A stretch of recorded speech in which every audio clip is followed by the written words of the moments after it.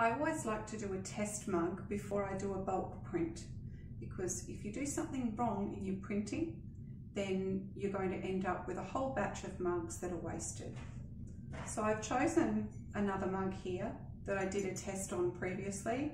The black came out really nicely, the logo prints well, so we're going to go for it.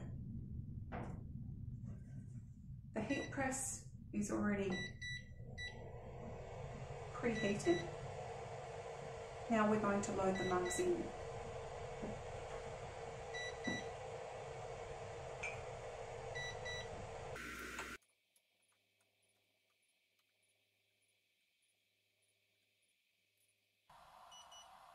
So there's 10 mugs.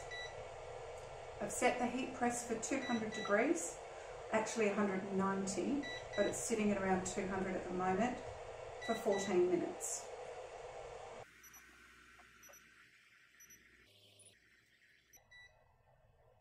We'll press start and get these guys underway.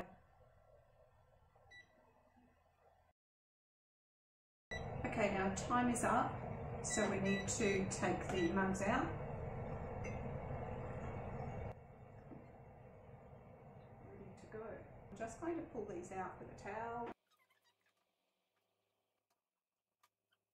All done. Wait for those to cool and then we'll come back and reveal the mugs. So here are our 10 mugs. They're printed really well. You'll notice, I think, when I took them out of the heat press, that there was some of the shrink wrap that had pulled away a little bit, but most of the pressure stayed on the transfer. So just be careful when you're applying the shrink sleeve and make sure that it gets good, um, a good shrink on each of the mugs. So just before I do go, if you would like a reusable version and don't want the one use type shrink sleeves, for this shape, you can also get the silicone mug wrap. These are reusable, they clip around the mug and apply the pressure.